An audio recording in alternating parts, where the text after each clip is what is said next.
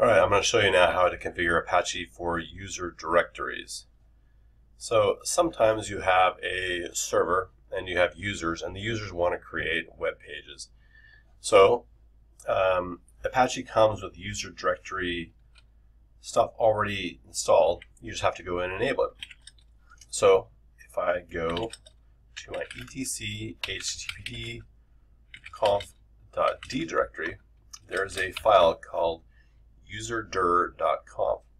So I go and edit that userdir.conf file. So what it has right now is userdir is disabled. So I want to disable the disabled option and take away the comment from this public HTML directory to re-enable it. And down below you can see that there are some options. If I want to change the options for the public HTML directories for users, I could change options right here. I'm going to leave them alone just so we can see how it works, first of all. All right, so now that is um, configured. So I restart my Apache web server.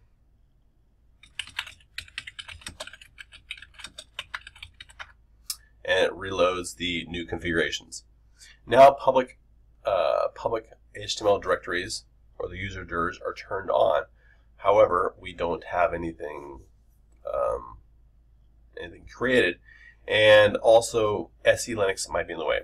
So what we want to do is there is a set SE bool value for public HTML directories. So I want to set capital P HTTPD uh, enable home dirs to true.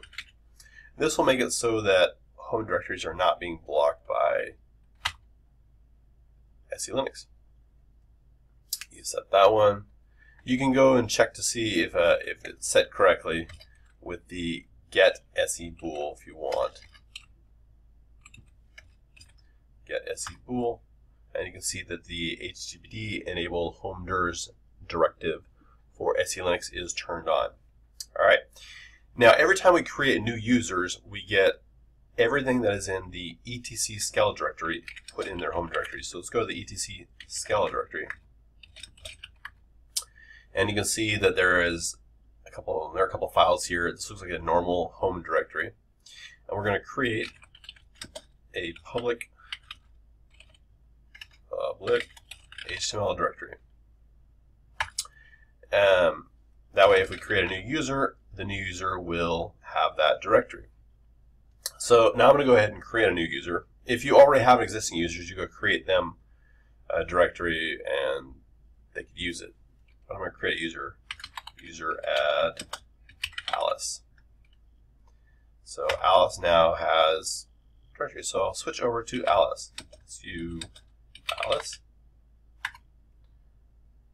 Now I'm in her directory. So if she takes a look around in her directory, she can see she has this um, public HTML directory right here.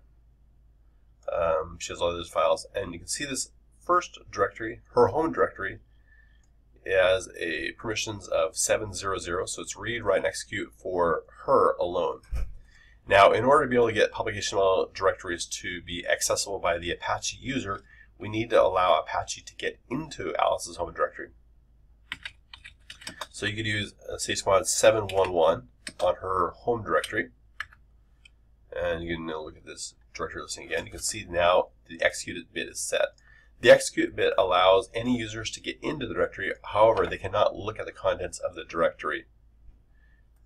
And now the public HTML directory has read and execute. This makes it possible for the Apache user to do directory listing and to find out if there is an index.html file or any other files that would make it possible to uh, display a page. So now we go into the public HTML directory. And you can see it's empty. So we create an index.html file. And we'll just create a basic web page, dot type HTML. And let's do a uh, HTML tag. Let's close our HTML tag. Normally we add more, but we don't need to. And um, we'll say this is Alice's home page. All right, so now she has a web page created. We can exit out of this. We can look here. We can see that the home page is created. Now, the way you get to this directory, let's switch over to a client machine, is after the server's name, you put a slash, a tilde, and then the username, Alice. And we can see that her web page loaded. If we wanted to, we can also specify individual pages like index.html and load that one, which is the same thing. And that is how you configure and set up user directories.